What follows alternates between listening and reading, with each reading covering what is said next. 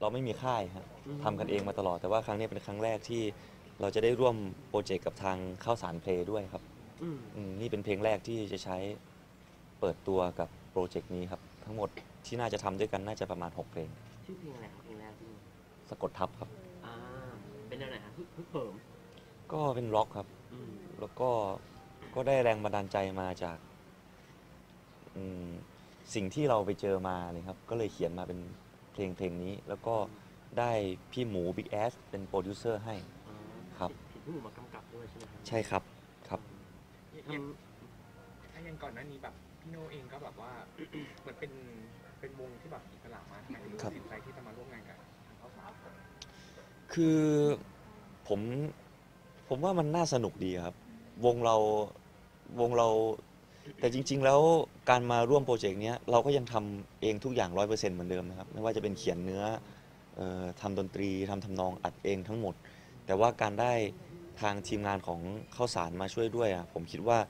พี่ๆแต่ละท่านเป็นคนที่มีประสบการณ์ แล้วก็มีความสามารถ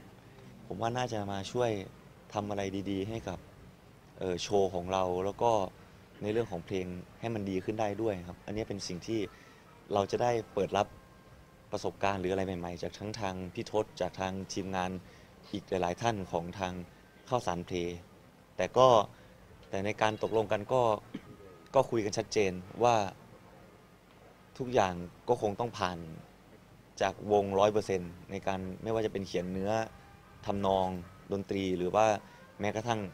การคิดไอเดียในเรื่องของ MV ครับ อันอันนี้พี่โนอันนี้ทั้งวงเซ็นไหมครับเป็นยังนะฮะเป็นยังไม่ได้เซ็น project เป็นโปรเจกต์ครับ เป็นโปรเจกต์อืมก็ในเรื่องของการเซ็นเดี๋ยวคงต้องคุยในเรื่องของของรายละเอียดอีกทีหนึ่งอืมพี่ว่าเราจะเซ็นกันไหมเราจะเซ็นกันกี่ปีหรืออะไรเงี้ยครับแต่ว่าตอนนี้เป็นการคุยกันคร่าวๆก่อน ว่าโอเค เราจะทำโปรเจกต์นี้ด้วยกันประมาณ 6 เพลงครับ แสดงว่าโปรเจกต์นี้เป็นเหมือนแบบว่า ดูก่อนดูลาดราวก่อนการทำงานต่างๆ ว่ามันไปในทิศทางเดียวกันไหมใช่ไหมฮะ ใช่เพราะว่าผมก็คุยกับทางผู้ใหญ่อย่างชัดเจนนะครับว่าถ้าเกิดว่ามี มีพวกเราแล้วมันดีกับค่าย เราอยากจะอยู่ แต่ถ้าเกิดว่าว่ามีพวกเราแล้วพวกเราช่วยอะไรค่ายไม่ได้ พวกผมก็ยินดีที่จะลุยกันเองต่อครับ ก็คุยกันตรงก่อนหน้านี้อยู่เป็นอิสระกันมาหลายปีมากครับ แต่แต่อยากๆหลายปีนะครับ อยากที่จะแบบมามีค่ายมีบ้านอยู่เป็นหลังเป็นอะไรเงี้ยครับเป็นสังกัด ก็อย่างที่ผมบอกไปเมื่อกี้พี่ว่าแบบอย่างอย่างตัวของ เอ่อผู้ใหญ่ของทางข้าวสารเองอย่างพี่ทศอย่างเงี้ยฮะอืมก็ตอนที่เราอยู่แกรมมี่พี่ทศก็ขายงานอืมให้เรามาก่อนอืมครับพอวันหนึ่งได้มีโอกาสกลับมามาชวน ตอนแรกพี่ทศมาชวนทำเป็นซิงซิงเกิลซิงเกิลครับครับ เราก็มีความรู้สึกว่าถ้าจะทำทำให้มันจริง ๆ จังๆ เลยดีกว่า ก็เลยกลายมาเป็นว่า โอเคเป็นโปรเจกต์นี้ครับ จะทำเป็น EP ครับ เป็นอัลบั้มเล็ก ๆ อัลบั้มหนึ่ง แต่ว่าปีนี้ก็คืองานเพลงก็คือลุยเต็มที่เลยจากวงเรา ครับเพราะก็จริง ๆ ก็คุยกับเพื่อนเอาไว้แล้วว่า ในปีที่ผ่านมามันเราถ่ายทั้งหนังอืม ละครแล้วก็ยังมีเรื่องของว่ายน้ำอีกอืมครับเพิ่งมาได้ทำเพลงจริง ๆ จังๆก็คือช่วงปลายปี อืม หลังจากที่ขอขอเพื่อนๆไว้ครับ อืม ปีนี้ก็คุยกับทางช่องไว้ด้วยว่าผมยังไม่ได้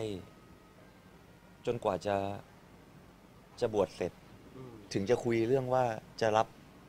การแสดงงานแสดงเพิ่มไหมอะไรเงี้ยครับ เพราะว่าตอนนี้เราก็โฟกัสที่หนังด้วยก็คือขุนพันสามอืมครับ อยากจะทำอะไรทีทีละอย่างให้มันชัดเจนดีครับไปเลยใช่ไหมครับครับแสดใช่งว่าครับภาพรวมรวมอาจจะงานเพลงซะส่วนใหญ่ในปีนี้ใช่ไหมพี่โนในช่วงครึ่งปีแรกน่าจะเป็นอย่างนั้นนะครับ เพราะว่างานจ้างอะไรอย่างเงี้ยที่เรารับไว้แล้วมันก็ มันก็ต้องทัวร์คอนเสิร์ตกันครับอืมแต่จะก็ก็ขอกับทางเจ้าภาพไว้แล้ว แล้วก็บอกกับทีมไว้แล้วด้วยครับว่าในช่วงเดือนมกราเราจะเริ่มกลับมาทัวร์อีกทีหนึ่งคือปลายเดือนมกราเลยครับ เพราะว่าช่วงนี้ก็คงจะต้อง ขอบวชก่อน หลังจากบวชเสร็จ ก็ตั้งใจว่าจะไปอยู่ที่อยุธยาสักประมาณสองอาทิตย์ครับ แล้วค่อยจะกลับมาทัวร์คอนเสิร์ตกันต่อครับฝั่งฝั่งเพื่อนๆบ้างอะครับพี่โน่ถามเพื่อนครับหนึ่งว่า เป็นไงบ้างคือเข้าใจเป็นแบบวงที่แบบว่าอยู่กับพี่โน่มานานมาก แล้วก็ต้องเข้าใจในตัวพี่โน่ด้วยครัเนาะบเพราะว่าโปรเจกต์ของพี่โน่อะไรเงี้ยก็อยู่เพื่อนครับ ๆคุยกันยังไงบ้างคะในวง ก็คุยกันเลยครับ โน่มีอะไรก็บอกว่าแผนปีนี้จะทำอย่างนี้นะอย่างนี้อย่างนี้นะ ก็ชัดเจนครับ เพื่อนๆก็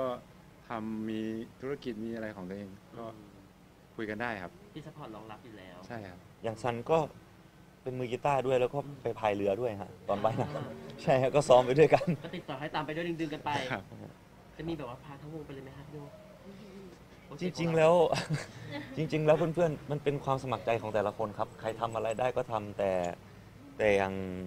อย่างซันอย่างเงี้ยเขาเริ่มมาตั้งแต่ตอนว่ายข้ามอืมเกาะแล้วครับ เพราะตอนนั้นเราก็ยังไม่รู้ว่าจะมีจะมีใครมาช่วยไหม เออเราก็เอา เอาคนที่รู้จักกันที่ผมแบบมั่นใจว่าเขา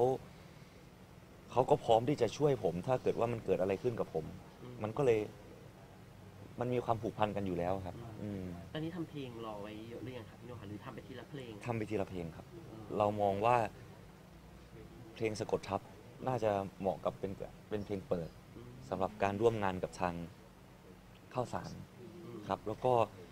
ไหนจะเป็นเรื่องของสมาชิกใหม่ของวงด้วย อืม ก็มีเพิ่มมาสองคนก็คือค่ะเท่มือกลองแล้วก็นัดที่เป็นมือเบสอืมมือคีย์บอร์ดด้วยครับอ่าแล้วก็ฮอตครับ เป็นมือคีย์บอร์ด